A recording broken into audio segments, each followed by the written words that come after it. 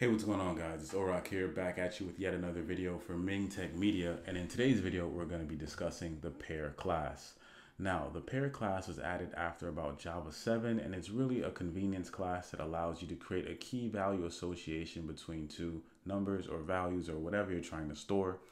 And it kind of differs from a hash map, and I'm gonna show you the nuances and the differences between pair and a hash map in a bit its method list isn't really long, so I'm going to go over some of the methods as well. I'm going to try and keep this tutorial very concise, yet I want to make it exhaustive so you can come away from it knowing and really feeling like you really understand the pair class. But first, if this is your first time on my video or any of my channel just videos, I make software engineering videos for people who are trying to level up, get into tech, are trying to build their skills, pass technical interviews, or just become better Java programmers, better software engineers in general. So if that's of any value to you, I encourage you to smash that subscribe button, smash that like button, and hit that bell notification button so you'll be notified when I do make content like this.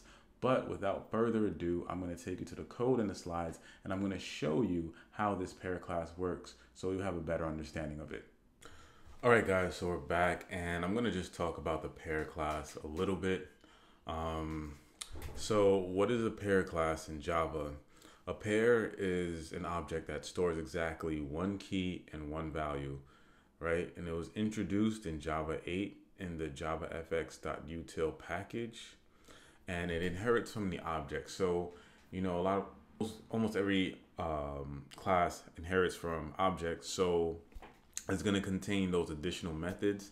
The method interface is is very short and concise for pair as well. I think there's only like four or five methods. It's not long at all. Um, and I'm going to take you over to the Java docs so we can just take a look at it and just talk more about it before I take you to the code. Um, another thing to note about pairs is that they cannot store primitives, so only complex objects can be stored in a pair. Also, the default delimiter for a pair is two uh, for the to string method is the equal sign. So whereas you'd have like a colon or a comma uh, with uh, within parentheses, like for other sort of data structures for a pair, it's an equal sign. And the workaround for that is to implement your own custom to string method or some other print function, um, which takes the key and values and uses other strings uh, to wrap around that so it can be presented in uh, the form that is normal or you know most common out there. Uh, another thing to note about pair is the hash code function is available to you if you want to store a pair in a hash map or for just more general security purposes. And also on the topic of hashing, uh, it's not used for implemented hashing. And the keys and the values in a pair, or the key and value, because it's one exactly key and one value of a pair, they don't relate to each other, right? Um, and one of the main differences between a pair and a hash map is a pair is exactly one key and one value, whereas a hash map is a little bit more of a complex object with many keys and many values, and they associate and relate to each other. And you can operate on all those values, right? Whereas pair is just one value that you can operate on. And it's a very limited set of operations that you can do on a pair um, with its given functions unless you implement some sort of custom class to uh, work or custom functions to work on a pair. Um, the method signatures, including the ones that it inherits from object, is pretty much all you get with a pair. All right, moving on. So when do you use a pair class? Um, one of the main reasons to use a pair class is when you need a key value pair that needs to pass to that needs to be passed to a method as an argument. That's a great example of when to use a pair um, because it restricts, you know, the passer or the caller to only using a pair and only one key and one value to that method, whereas a hash map or this or that might tend to over conflate things.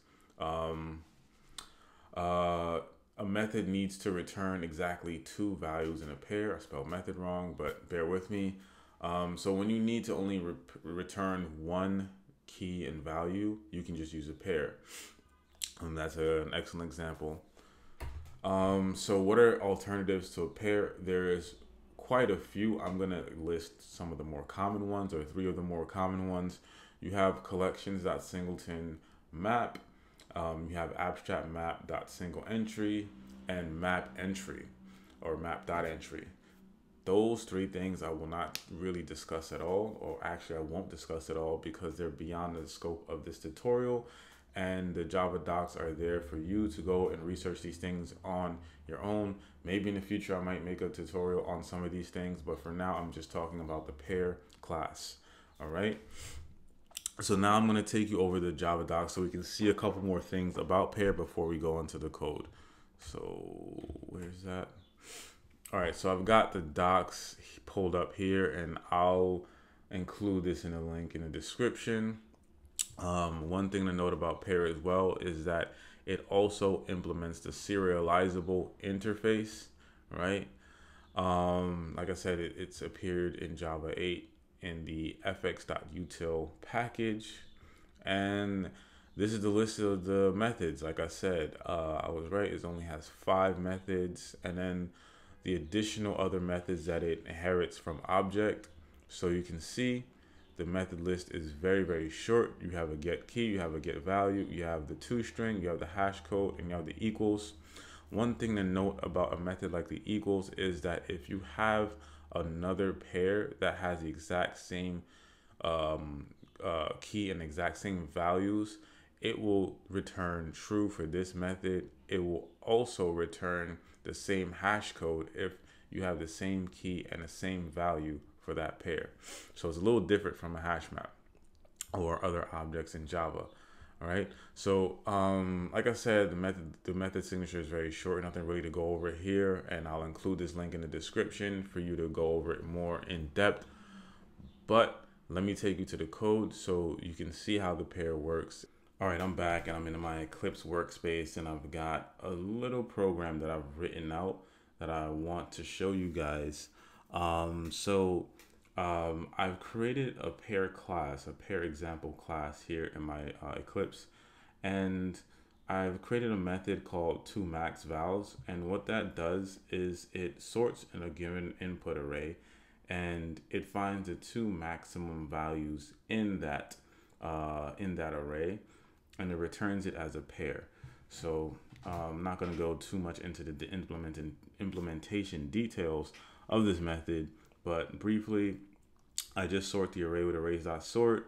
I um, get the, the uh, length, which is array length minus one, um, and I get the first, uh, the first in that pair, or the second to last, and then the last, and I return those results as a pair, right?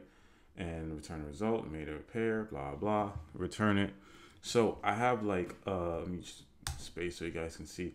I have uh, uh, in my main method here an array that I've created. And then after I created that array with these values that are not sorted, just random numbers that came to mind, I um, went out and printed this with the two max val function that I created above here with this test array, right? So looking at this array, we got a 3, minus 4, 9, 12, 15, 7, 22, 8, 13, and a 1. So obviously the highest value is going to be 22 and the second highest value is going to be a 15. So if I do a system out that print, I should get a 15 and a 22, right? So let me run this. And that's exactly what I got. Now remember when I said that the delimiter is an equal sign. That's what you're going to get if you print out a pair. Now, a workaround around this is to have your own sort of uh, print function that you've created. I'm not going to really create one here because I'm trying to make this tutorial concise, but that is something that you can do if you needed to. If you wanted it to sort of be presented in a different way when it's printed. But all in all, this is uh, how um, you, you work with pair. I'm going to show you a couple other methods mainly just to get key and to get value. So what you can do is, let me just comment this out. You can do, so okay, so you're gonna have a pair, um, I'm gonna say pair integer in integer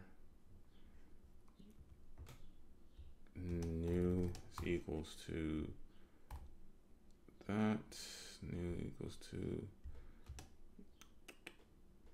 uh, oh dang. New is a keyword in java. Okay new pair all right there we go. All right um so when we get that then we do new pair and then we do dot get key.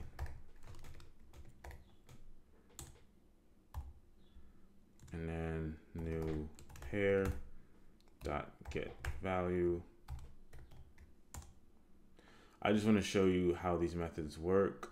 Um, I'm gonna do system out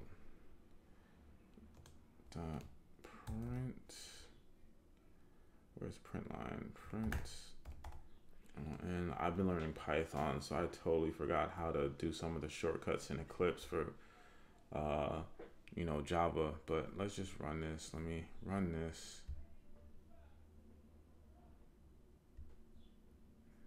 Okay, we just got the keys. We didn't really print it. Oh man, what am I doing?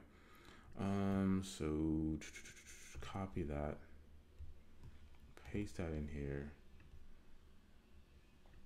remove that semicolon remove mm, we don't need that. We don't need that. We can just copy this again and we can just paste that down here and then we say get value right? And then we run it. We should get our values. Yeah so sorry about all that but yeah so this is how you work with the pair class. So we, mainly you can just get the key the value you can get the hash code. Let me also show you those methods. Get what is this? Hash code. Hash code right? And you know print that out. Let's see what that comes up with. See this is the hash code. Is 7214 right? Now um, I remember when I said that uh, if we were to create another pair with the same exact value, so let's just say we did this, we printed that, and we say new pair two underscore two, right? Um, again, we're gonna get the same exact values. So if we printed, let me just copy this out again and do that. And then instead of new pair, we do new pair underscore two.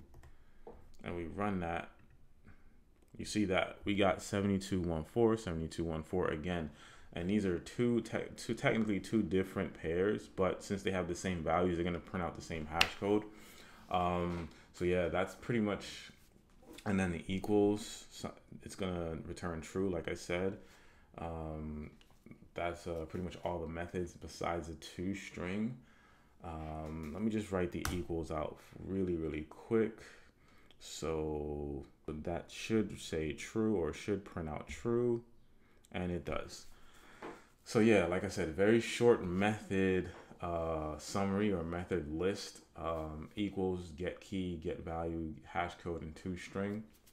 Um, but yeah, it's it's you know a very concise small class, and it's really just a convenience class that is used to uh, return two values that you really don't need to do too much work on.